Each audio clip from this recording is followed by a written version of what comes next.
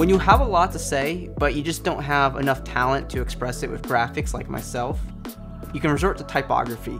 Just playing typography is an art of its own, and in this video, we're going to talk about three kinetic typography techniques to help you produce meaningful blocks of titles.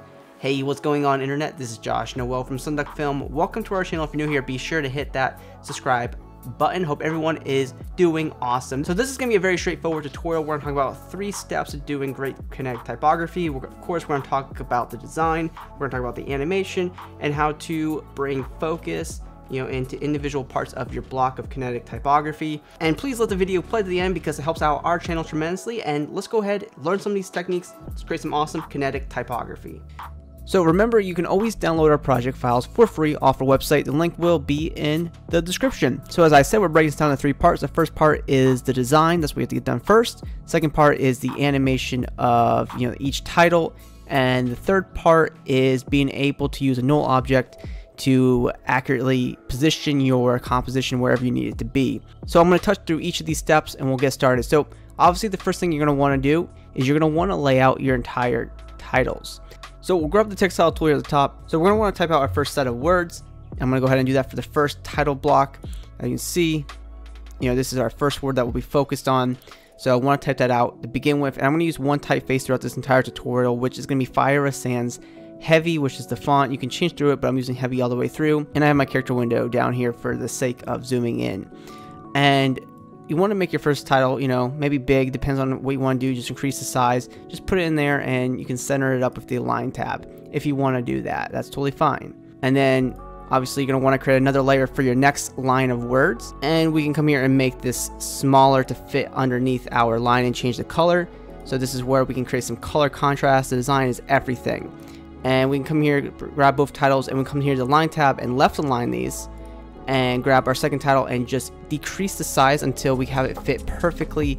And we can see that we have perfect you know alignment from our first word to our second line of words. What we want to be thinking about is that you don't have to put each word in its own text layer. These two words are together because we can animate them together.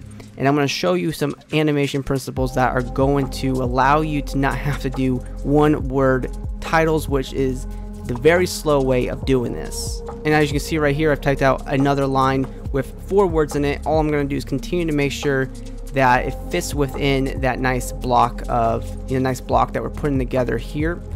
And this is all about design. And if you can't necessarily find the right size, hold down control on your keyboard and you come here to the size and it'll slightly increase it and just block it up as best as you can and this is how you can put together a nice design. So jumping forward, you want to be able to uh, help variate your design by putting in different colors. You know, I'm using the same color palette, which is advisable, and just by creatively putting your titles in smaller blocks, things that might not be as important. You know, important words obviously should be larger than non-important words. So you can see I'm able to position each of these titles to fit in this nice entire square block and maybe a square block is all you want. We can continue with this nice square block we've created here, but we can also take our additional titles and hit R on our keyboard for rotation and rotate them by 90 degrees. And you can just put them on the sides, you know, just kind of like that. And that allows us to be able to animate this a little bit later in a unique way. So don't limit yourself to where you can position your text because you can put it all over the place and we can move you know, our camera, if you will, wherever we want. And if you want to put titles on a size like this, it's good to just know all the words that you want to put up on the screen, and then you can rotate it now, and then we can, you know, animate it into the upward position when we get there. So I did jump through the design portion because all you need to know is how to resize. You can also increase your tracking of the words if you want to help fit a little bit better. Uh, but like I said, you need to be able to put up all the words uh, that you know you're going to animate first. Uh, and then we can get into the animation portion, which we will do now. Alright, I'm going to show you a handful of animation principles that you're going to be able to implement in any way that you want. You're going to be ready to animate anything. So here we are, and let's go and animate this. So we'll start with our first word here. And all we're to do is open up our title layer, and where it says animate, we can click on this, and we can add like a scale. Okay, and I'm to keep this very simple so we don't get ahead of ourselves. I can set the scale down to 0%, and I can open up the range selector 1, and I'll add a keyframe for start and we move forward by a half a second, maybe a little bit more, and we set that start up to 100%. And we'll select both of our keyframes, hit F9 on our keyboard to make them easy ease keyframes. We click the graph editor, and we click one of these points here, and we can bring that vertice across. Go to the bottom one here, bring that vertice across. So now if I just solo this layer, we can see what we've done. Nice. So we have a very simple and clean animation of our first word. Now I can bring up our second set of word. I'll just use a solo right here and we can apply the same principles. So we go into that layer, go to animate, but this time I want to add say like a rotation. And what's cool about using the text layers here to animate is I can come here to animate tab again and make it a 3D layer, enable per character 3D.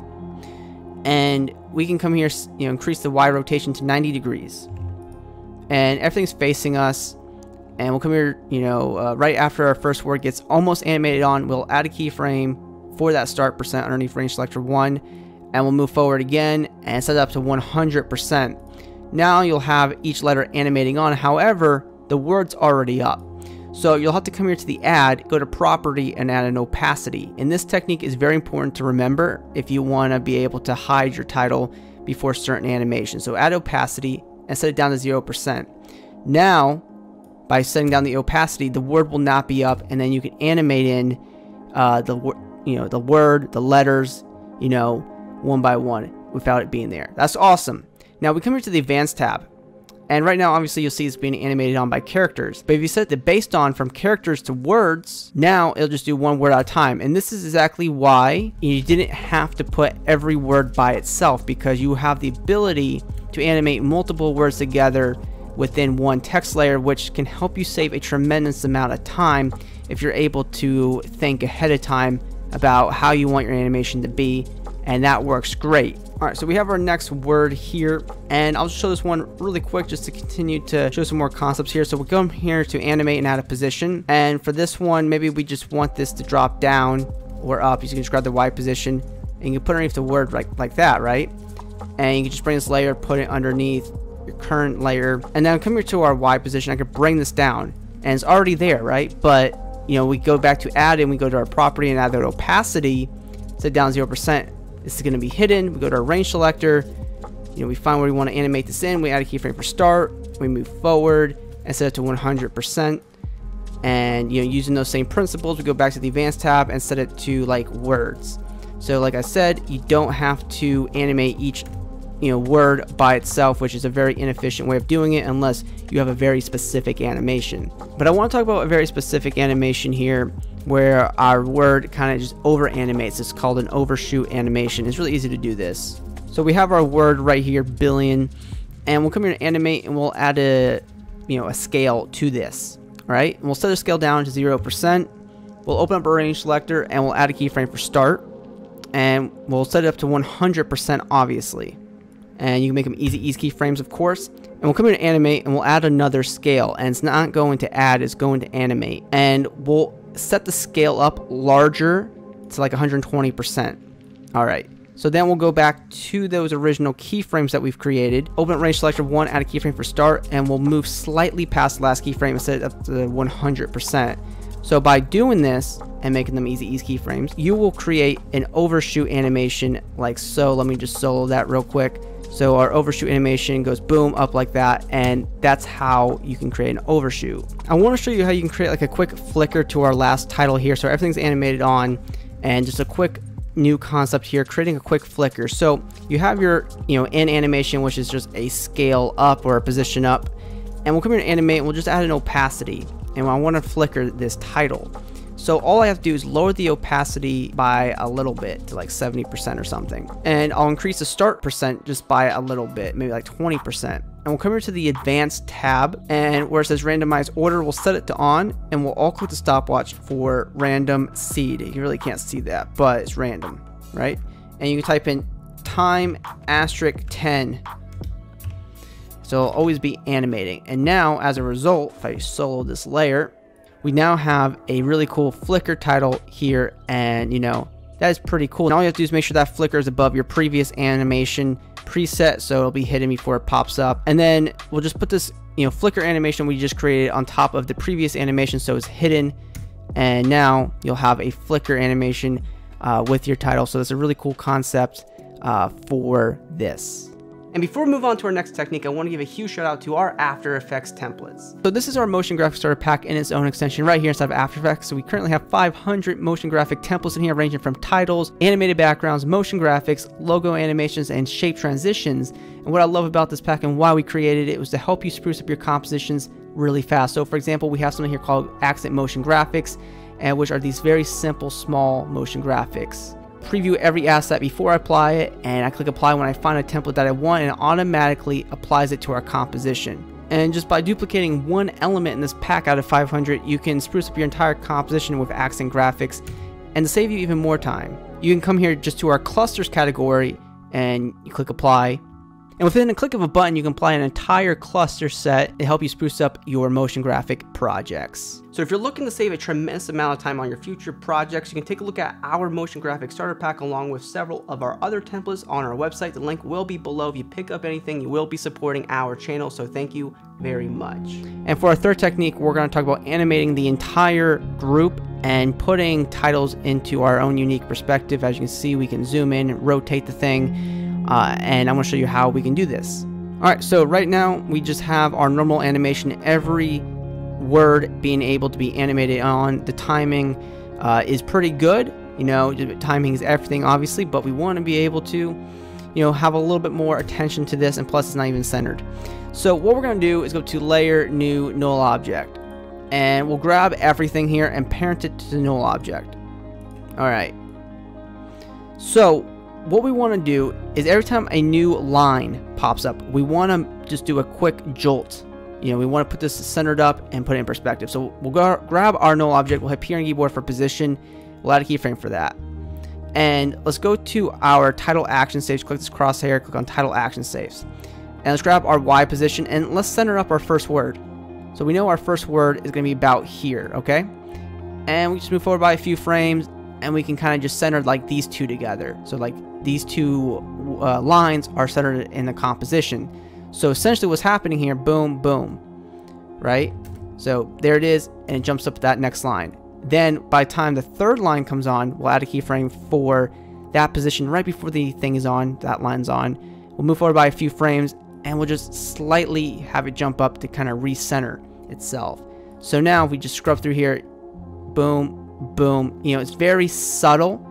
Um, and, you know, we have our next word here, so we'll add that keyframe there. And before it's done, we'll just go ahead and slightly readjust the overall animation. And, you know, right before that next one's on, we'll add a keyframe. So just by using these principles, boom, boom, boom, boom, you know. So by using this position technique, we're able to kind of keep the entire block centered together. Now, of course, what happens when you have words on the side? Well, we'll go ahead, right before that comes on, before we need to go over there, what we'll do is we'll hit Shift S and Shift R on keyboard to bring up scale and rotation.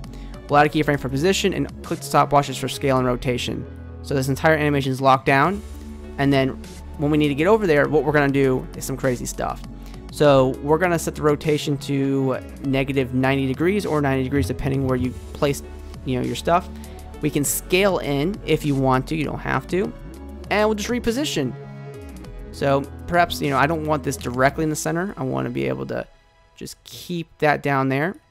So now it's going to go from this and it's going to zoom in. Our next word comes on. Nice. You know, perhaps I can just raise up the Y position a little bit more and that can stay on just like that. You can do some other animation and then we'll add keyframes there to lock this in place. And then obviously we're going to want to, you know, shift this over for our last word. So you know, we can set the rotation back down to zero. Uh, we can reposition this, scale out, and just put it in the right position. All right, so now we have our words animated and we have the entire block being animated with a null object so we can create our own perspective and it all flows nicely together.